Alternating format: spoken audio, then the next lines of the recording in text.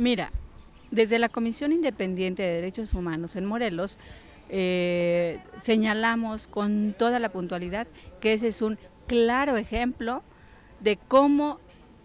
la violencia institucional en la entidad morelense es la principal eh, causa que se tendría que atender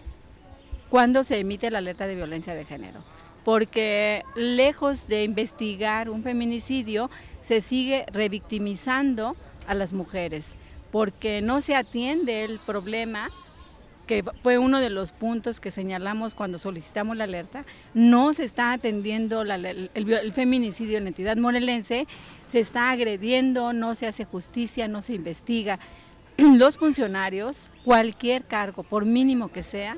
tienen que estar documentados para saber qué van a decir cuando hay un hecho como el ocurrido en Temisco con los dos casos de feminicidio.